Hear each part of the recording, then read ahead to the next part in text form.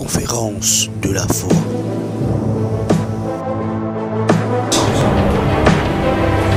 Mais aujourd'hui, moi, invite-toi pour rendre dans l'équipe de la foi.